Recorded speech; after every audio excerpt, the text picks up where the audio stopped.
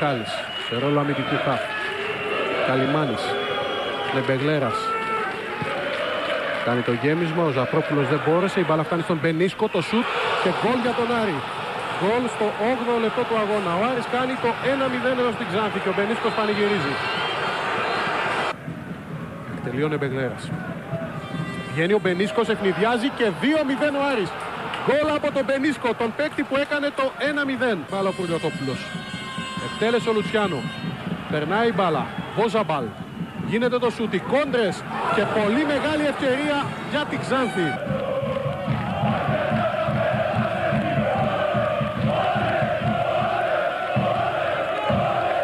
Παρακαλώ τους συναδέλφους, όσοι θέλουν μπορούν να ακολουθήσουν έξω την ώρα που θα μιλάει ο κ. Κατσάρας. Σεβόμαστε το πρόσωπο του κ. Κατσάρα, αλλά διαμαρτυρόμαστε γιατί. Ένα λεπτό, δεν θα Προχωρήσουμε γιατί χτυπήσαν τον εκπρόσωπο τύπου του γραφείου του Φιλόσοφου Θα ζητήσετε συγγνώμη και μας αποχωρούμε. Σε ένδειξη του συναδέλφου.